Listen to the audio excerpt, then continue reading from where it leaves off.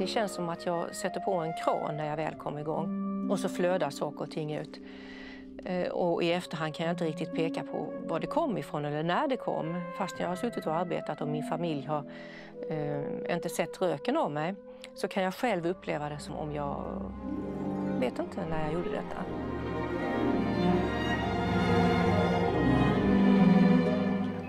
Det är mitt spår.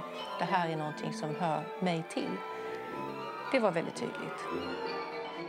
Det som Anna-Lena står för här, att skriva x antal vänder i musiken eh, där piano och trumpet möter varandra i en dialog och där orkestern kliver in och ut. Det är inte vanligt. Jag skulle tro faktiskt att det är första gången och det är ett annat sätt att tänka på som jag eh, ser fram emot att få lyssna på.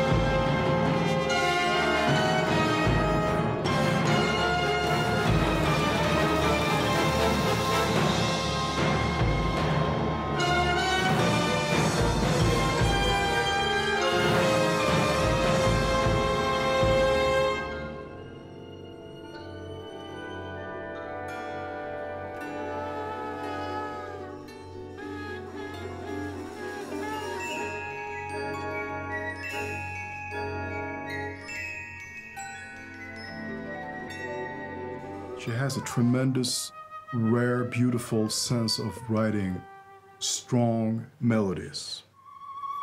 Annalena has great mind. She writes brilliant melodic ideas, interesting rhythms, great voicings. And she's got a gigantic heart. So she puts both of them into the music.